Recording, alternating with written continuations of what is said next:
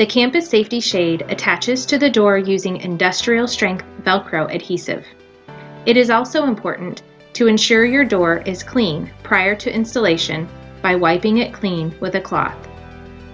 When you are ready to install your Campus Safety Shade, peel back the adhesive backing on the Velcro. Line up the adhesive Velcro above the top of the window frame and press firmly against the door.